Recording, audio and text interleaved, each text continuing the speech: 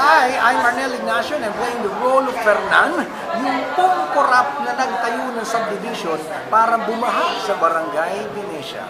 At doon iikot ang kwento ng lahat ng bakbakan na mangyayari sa Rock of Ages. Of course, patatawanin kayo at makukonsensya, mag-iisip pagkatapos pagkatapos ng manood.